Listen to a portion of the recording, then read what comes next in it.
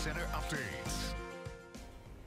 Happy Monday and welcome back to midday. We got sunny skies across the entire state. Temperatures right now in CenLa ranging from the mid 50s to low 60s as of now. We can only increase this by a few more degrees today, but right now the temperatures are set for the rest of this Monday. Now, sunny skies are due to um, two high pressure systems, one just north of us and one south, keeping us dry for today.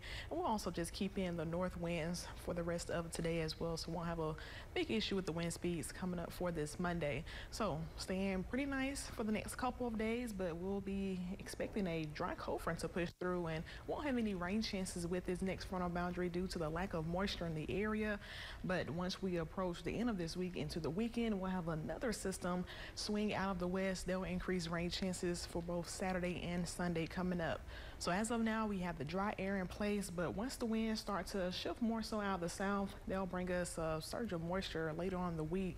But as far as that uh, cold front for Wednesday, drier air will filter in across the south. And also temperatures will decrease just by a few degrees for Thursday. So those rain chances at 0% through Friday, but back, up again for this weekend. Scattered to widespread showers possible, even a few thunderstorms mixed in there as well for a Saturday. But once we have that cold front push in, there will lower rain chances for a Sunday. So they will be um, isolated by the time we reach Sunday and won't be expecting anything widespread. So rainfall amounts early Saturday through Sunday will be a lot less than what we have seen last week where some areas had up to 10 inches of rainfall. Right now, rainfall amounts between one inch to two and a half inches of rain expected. That'll be across the CenLa area with higher amounts more so towards the south for this weekend. But temperatures pretty nice, low 60s today. Tomorrow, that'll be the warmest day out of the seven day forecast, topping out in the 70s, and then we'll stay pretty much in the 60s all the way through the end of the week. But Thursday, that'll be the lowest temperature of the week at 62 degrees. But with moisture returning and winds shifting out of the south, we'll be back into the upper 60s and even borderline 70s by Friday.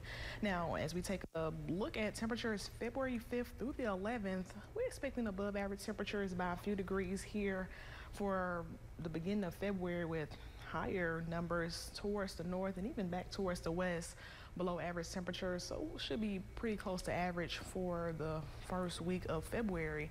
So if you're like me and it's been quite some time since you had that car, wash, the next couple days will be pretty nice. We don't have any rain chances, just dry air and sunny skies. So go ahead and add a wax for that car wash. Now the next several days, um, not too many changes with the forecast. Rain chances at 0%. We have that first cold front Wednesday, but might as well call that a dry cold front because we won't have any rain chances with that one for the middle of this week.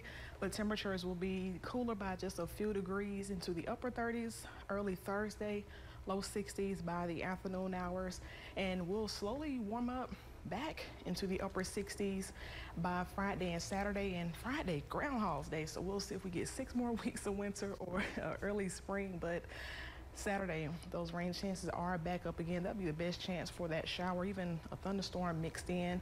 But we'll have that cold front push through Saturday night into Sunday, lowering those rain chances by the end of the week. But the big difference there Besides the rain chance will be temperatures, they'll drop about 10 degrees back into the 50s and overnight temperatures in the low 40s. And we talked about this on Jam earlier, Jawan, about Groundhog's Day.